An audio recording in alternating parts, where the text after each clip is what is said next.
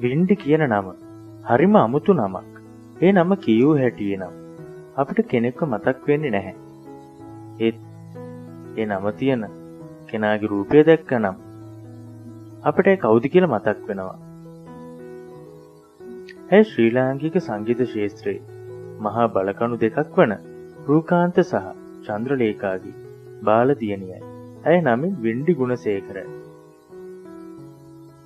අම්මා තාත්තා සහ අක්කාගේ ආදරය විඳින.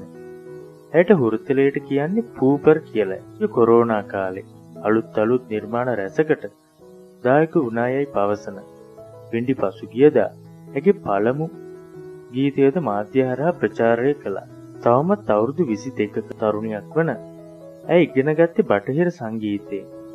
තව දැයට යනුව වාදනය කිරීමට පුළුවන් කියල තමයි ඇනම් පවසන්නේ. තනුක වික්‍රමසිංහ නම් නැගියන තරුණ ගායකයාගේ තේරුණාදෝ කියන ගීතයටද අන්ඩදායකත්වය ලබා දෙන්න වින්ඩිට හැකිවුණා කියල වින්ඩි පවසනවා සනුක යනු ඉතාමත් දක්ෂ ගායකය කියලයි ඔහු නම් කියන්නේ. තමා ගොඩාක්ම කැමති. ගායකයා ලෙස සනුකෝ පෙන්වා දෙන්න පුළුවන් අතර. ඔහුට අමතරව ඩැඩී කණ්ඩායමේ ගීතවලටද වඩාත් ප්‍රිය කරන බවයි ඇයි කියන්නේ.